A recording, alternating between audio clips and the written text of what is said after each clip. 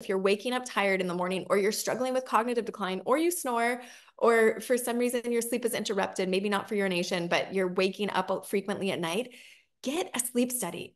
Sleep is profoundly impactful on brain health.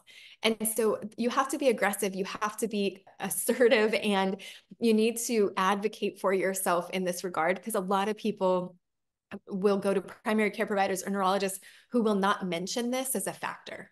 Absolutely. This is so important. Dr. Sandison's given us you know, thousands of dollars of, of, of, information that you can use to save you a bunch of doctor visits. You, she's outlined this in detail, so not outlined, but written this in detail in your book, Reversing Alzheimer's. So please get that book. It's a fantastic investment in your health and and and your and your your family's health. What are some of your top supplements that for people that are interested in in, in a healthy brain that you like to recommend to patients?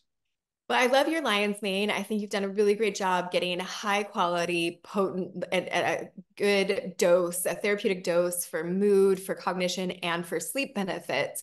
Um, I take your lion's mane personally, get benefit from it. So really appreciate that. I also love Qualia Mind, which I took some of it this morning in advance of our conversation. So Qualia Mind is another one that I am a big fan of.